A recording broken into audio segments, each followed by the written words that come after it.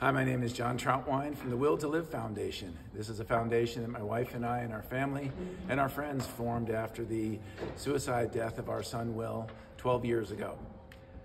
Since the foundation formed, we used the platform that we termed Life Teammates as a way to get the message across that life is hard and it is our teammates that can help us get through our most difficult times. It is our teammates that can encourage us to talk about it Mental illness is everywhere in today's world. One in five of us suffer from it. It's treatable and it's beatable and it's okay if you talk about it. And I remember in the early days of the foundation thinking, how can I get people to talk about it? Well, it was my own life teammates that came to my rescue. Those guys in my life that truly understood me and understood the challenges I faced and that I still face today. They're my comfort zone. Those are the people that's easy for me to talk about. So we use this concept of life teammates as a way to encourage all of us to create a culture where it really is okay to not be okay. But you do have to talk about it. What is a life teammate? A life teammate is that, that friend, that individual who puts others first, who rejoices in the success of his friends and his teammates. Whether he's on the field or off the field, he or she is always that example of what it means to deliver hope to each other.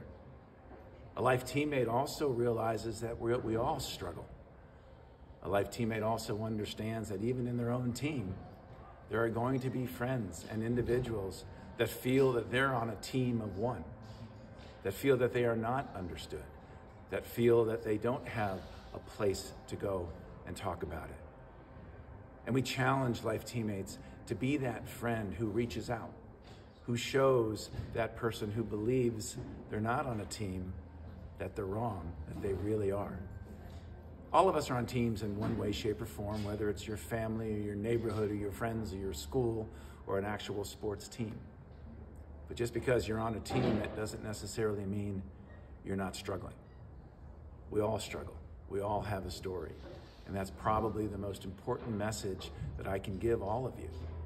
We all have a story, and a life teammate understands that and creates a culture where it's okay to talk about that story, to express that story, and to be there for one another.